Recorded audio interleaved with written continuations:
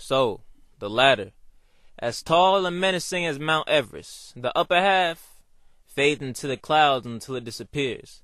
And it is clear many have climbed, hence the pile of corpses that either were claimed by the ladder or forfeit. Either way, they eventually failed and fell off, but my determination is bar none, and plans well thought. I hear the rattling from the pile of skeletons as I approach the ladder's base, basically basing my future off this one try, off this one take. Hope I don't fall. Came too long of a way. The ladder.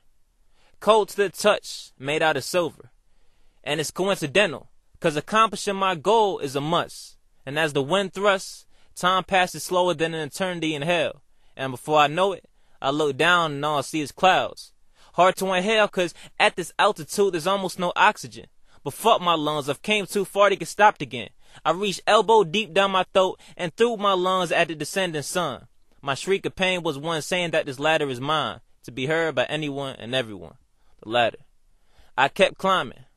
Hours turned days, days turned to months, months to years, years millenniums. I cried out for help like, please, anyone, hoping someone to hear.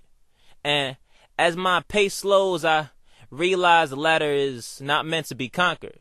It's a setup to kill us and to make it seem self-imposed. And I suppose my fate was no greater than the next no greater than the best.